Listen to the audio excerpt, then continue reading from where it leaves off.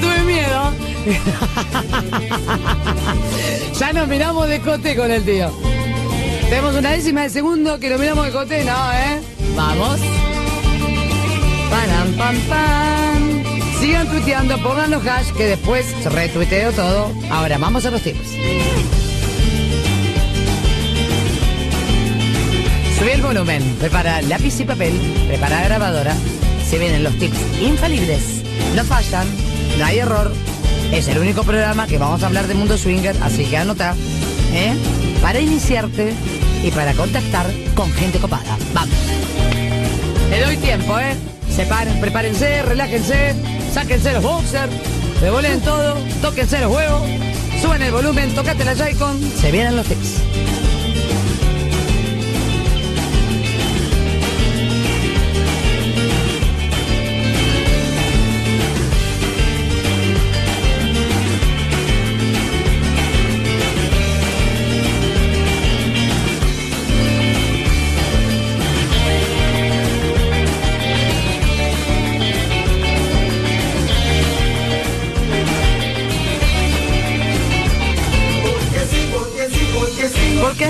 Vida vamos, prepárense, eh, que empiezo la, con la catarata ya, ¿eh? Arranco en modo pinti a prepararse. Porque sí, porque sí, porque sí, porque mientras espero por ti me muero, no quiero Seguir así.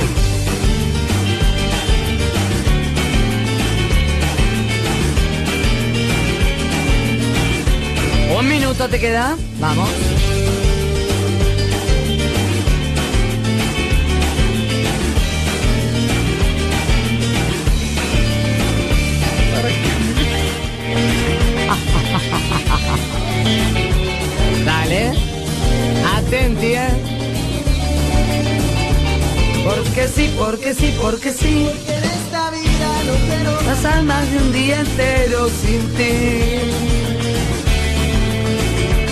Porque sí, porque sí, porque sí, porque mientras espero Por ti me muero y no quiero seguir así. Arranco. ¿Listo? ¿Están preparados? ¿Están preparadas? Pues vamos.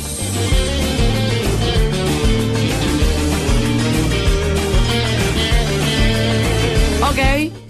Vamos, tío. A ver.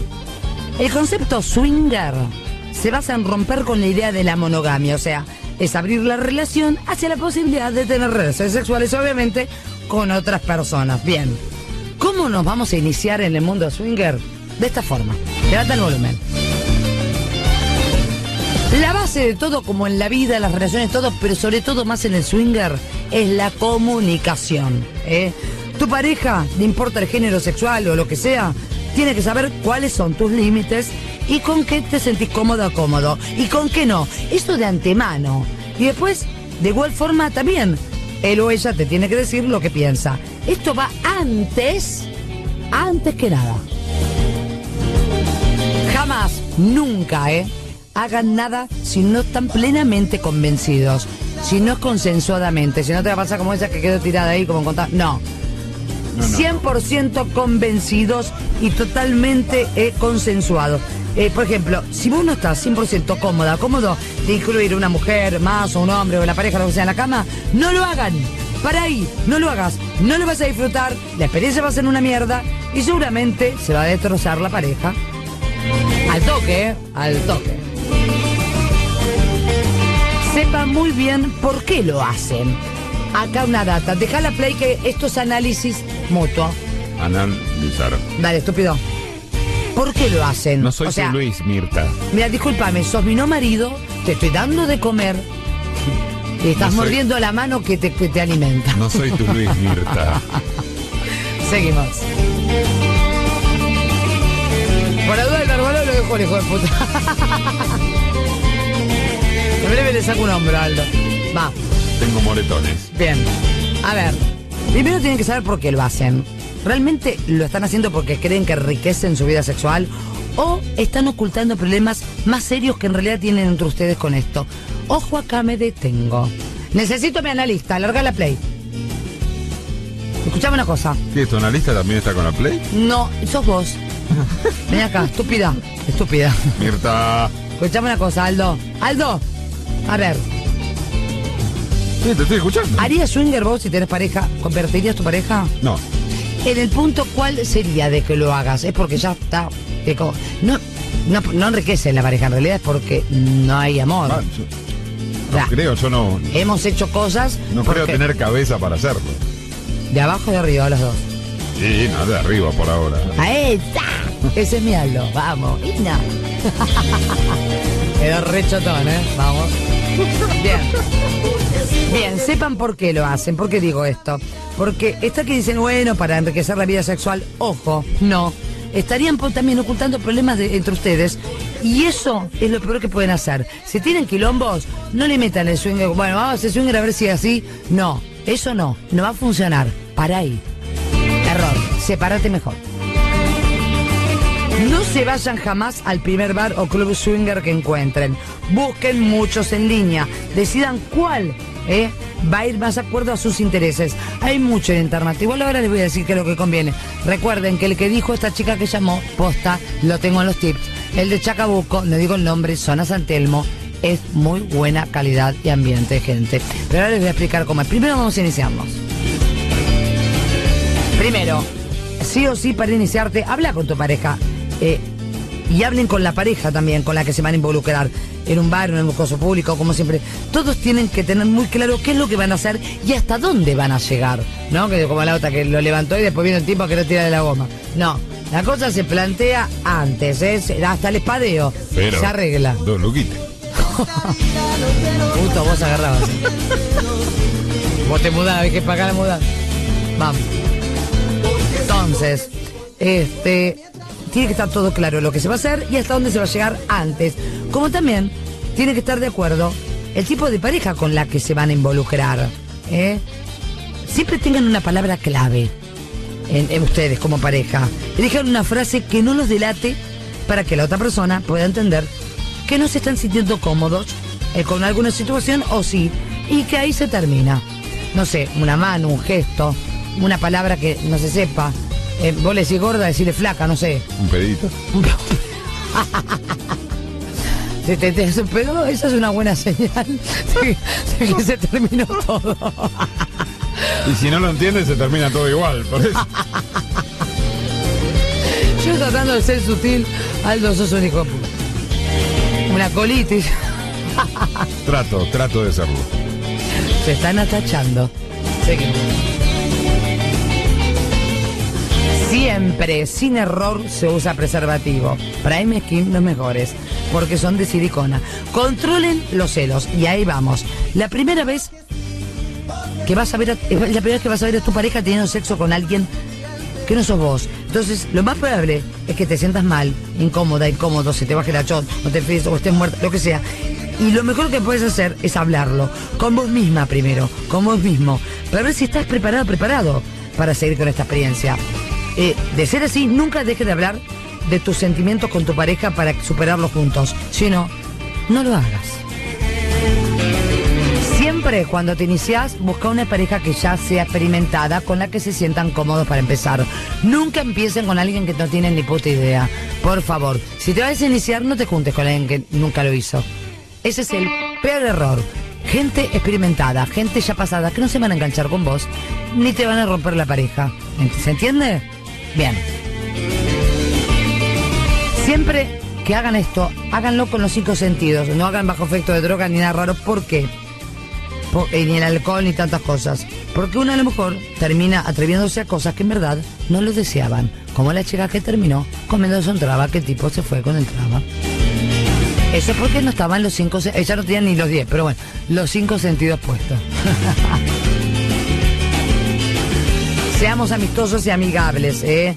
Es un evento, eh, en un evento o en un bar swinger, las personas van con la mentalidad muy abierta de experimentar. Así que, si no estás interesada o interesado, decilo de la mejor forma, nunca de una mala manera. deber, diviértanse si lo van a hacer. Si decidieron hacerlo, diviértanse. A la mierda los nervios.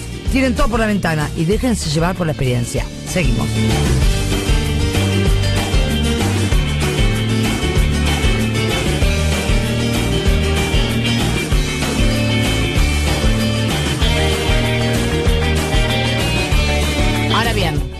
Carajo tiene el mundo swinger que es como adictivo, no? Y también es llama la atención. Eh, a ver, ¿Qué tiene? todo empieza con un sueño erótico. Con algo algo lo provoca. La pornografía, el sueño erótico, una fantasía. Arranca ahí. Eh, casi todos los clubes eh, swinger, sobre todo en Buenos Aires, tienen guías, ¿sabías? Personas en la puerta de ingreso que te van explicando el funcionamiento, o sea, no Como que te mandas. Claro, claro, claro. ¿eh? Como el catador de vino, pero de catador de para que cheque. se la coma toda. Ajá. De- Esta, esta, esta está abierta no de 0 a 3, está de, de- no, de 24 horas. Esta ya está baquete. Este es el número 25 que la leche. No. Está bien. Eh, como te decía, tiene guías. Por lo tanto, ya se me desenchufó. Ahí va. Ahí va. Eh, se me está descargando. Bueno, la moraleja. Eh, tienen un guía, entonces te va explicando el funcionamiento y las reglas básicas, por supuesto, de la convivencia. Sobre todo para ustedes, novatos o novatas, primerizas, primerizados. También este, a la gente que va confundida, porque hay mucha gente que va un swinger creyendo, eh, no sé, una cosa y eso otra. Entonces, sí o sí, por favor, no dejen pasar de largo y pidan un guía si no hay un guía. Eh, en el ingreso, eh, cual marca de ganado, te van a poner este, alguna cintita fluorescente tipo de o algo. principiante. Claro. Y según el color, van a indicar si estás soltero, solo, en pareja. Para que tengas una idea, ¿eh? se manejan por colores generalmente, los cuales como cuenta ganado. Está en pareja, soltero, hombre, hombre que busca pareja, sola. ¿eh? Está bueno, así por lo menos te vas dando cuenta con los colores. Y como explicaban, muchos colores. está jodiendo. ¿En serio? ¿Son muchos colores? ¿Vamos a probar? Vamos la puré. Yo tengo memoria Vamos para la dos. puré. Tengo memoria para dos colores. ¿no? Vos sos daltónico. Pues ya tengo que fijarme en la listita. A ver, ¿este qué es? Ay, Leo. ¿Sabes qué dolor de huevo sería irme yo con a un swinger? Pará, pará, que ese no sabemos qué es. Ese de la Aguanta, aguanta. Aguanta. Aguanta que te está dudosa. Para que no sé si, si no me cola a mí, aguanta. Cerraban el chebol y nosotros todavía estamos analizando el color de la puta cinta. Dos boludos. Dos boludos perdidos en un swinger, Aldo y yo. Funcionan mejor los gafetes. Qué pelotudo. Bien. Eh, ¿qué, qué ¿Cuál sería el antídoto según eh, cuentan las parejas swinger? Disfrutan de ver a la pareja en una situación sexual. Si vos no disfrutas de ver a tu pareja, la pasás mal, no se te ocurra tocarlo. Porque se supone que tratando con el intercambio, equilibradamente, siempre, lo más equilibradamente posible. ¿Qué quiere decir? No le des matraca a una, ataca, ataca. Como dijo el gordo que llamó. Si vos ves que se te paró vos y el otro no, alarga y afloja. ¿Entendés? Porque, eh, ¿qué. ¿Me entendés? No. The winner, no. La cuestión es intercambio, equilibrio. Equilibrio. Donde se pierde el equilibrio, se pudre todo, ¿eh? Si no va, no va. Lo primero que tiene que estar es tu pareja ahí como prioridad. Estás compartiendo, no estás entregando y es una cosa egoísta. Si vos ves que tu pareja empieza a darle más matraca, una cosa egoísta, rajala ahí y déjalo que dé matraca y tirale todo por la ventana. Olvídate. Te usó de excusa para, en realidad, hacerte infiel adelante tuya. Trabar en la puerta. Correr en los muebles es ciego, vos.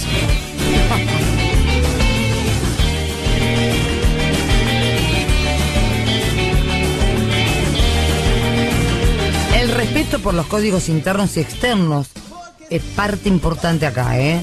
La propia pareja establece como válido esto. Si, si las cosas no son invasivas con la otra pareja, la cosa va a funcionar. Si te pones invasivo o invasiva, la vas a pasar mal. No te le tires encima a alguien, no hagas nada de eso, ¿eh? Eso no va, no funciona, ¿eh? Yo sé que el zarpe pasa en cualquier lugar oscuro y es parte del juego, pero eso es lo que no funciona en el Swinger y eso es lo que no se quiere, no se corre, ¿eh? Da, tranqui. ¿No te gusta? ¿No gustó? Seguís. De largo, nadie dice nada. Se miran, como dijeron, ¿eh? Hay muchas parejas que buscan una chica sola, las mujeres en general también son más generosas, ¿eh? Eh, los varones entre sí, en general, no se tocan, salvo que te toque, ¿no? Estos que están escondidos en el closet y te usan. Bien. Hay muchos intercambios que derivan en un hotel, pero la mayoría se revuelven, se revuelven, se, re- bueno, Se sí, revuelven, se revuelven literal, en el mismo lugar. Eh, ¿Se vuelve del swinger? Qué pregunta, ¿no? Aldo, Y si hay colectivos, de verdad. qué sos. ¿Por qué, ¿Por qué le doy lugar? ¿Por qué? ¿Quién me mandó a mí? ¿A quién cague en la vida? Ya pagué mis karmas. Basta, Aldo. Lo que. Ahí va. ¿Se vuelve del swinger? Sí. Se vuelve, pero diferente. Presta atención. Habiendo cruzado un límite, no te olvides que cruzaste un límite. Se vuelve para no volver atrás. Así se vuelve. Como las drogas duras. ¿Eh? Como lo llaman los audios. Como las drogas duras. Puede generar adicción. Así que si una o uno no encontró esa noche la satisfacción que buscaba, porque no se dio, no se animó o porque fue quisquilloso, quisquilloso, sí se vuelve. Ahora, si la encontraste, también se puede volver, pero de repente liberar a la pareja es autoliberador. Entonces la fantasía y el miedo de los cuernos se empiezan a desarmar o a jugar a favor de la complicidad. Guarda porque son dos límites y hay una delgada línea. ¿eh? Al final, por ahí decís no era tan grave, pero ya sea que la noche termine de a 4 o de a 6, hay un retorno al hogar que se hace de a 2. Y ahí se produce el verdadero, ¿viste? No fue tan grave. O, ¿cuándo volvemos? O, estuviste más con esta, con la otra, y se revolean todo. Entonces, hay que analizar los tres puntos. Adicción fatal. Escuchamos. La excitación swinger, la excitación swinger, se basa en ese doble papel de ser protagonista y espectador de la misma escena sexual. Esto es en sí. La mirada voyeur ¿eh? se va nutriendo de la fantasía convertida en acción frente a sus propios ojos, que también hay que agregar que la experiencia swinger tiene aspectos más profundos incluso, que arraigan en la construcción misma del vínculo de pareja. Porque te poseo, te comparto, ¿no? Como una cosa así. Las personas que acuerdan este tipo de práctica tienen que tener la capacidad para disociar la imagen de la otra persona. Porque aquel o aquella que practica este, eh, el swinger cuenta con la capacidad para disociar. ¿eh? Porque la persona que ama comparte la vida cotidiana y acompaña en los proyectos a la otra persona. Y también con el sujeto o erótico sexual o sujeto. Entonces, que eso es el generador intenso de placer o generadora. Pero ojo, sentir deseo por repetir una experiencia no convierte a la persona en adicto o adicta sexual. Ahora va. Como toda adicción, se requiere de la necesidad, por favor, de consumir experiencias eróticas, que además de brindar placer, te calme el estado de tensión interno o interna. Para que después de un tiempo te regrese el impulso urgente y busquen ser eh, saciados. Ahora bien, las compulsiones sexuales provocan abstinencia y ahí empieza el problema, ansiedad, irre- y, eh, estar irritable, insomnio, conductas de riesgo, tal, cuando no son satisfechas. Entonces, en el erotismo, todo aquello que fue fantasía y vos lo convertís en una realidad, tiene una carga mucho mayor de excitación y como todo goce, se basa en la repetición y la insatisfacción. Y siempre vas a buscar ser saciado, ser saciada. Así que guarda con el viaje de ida.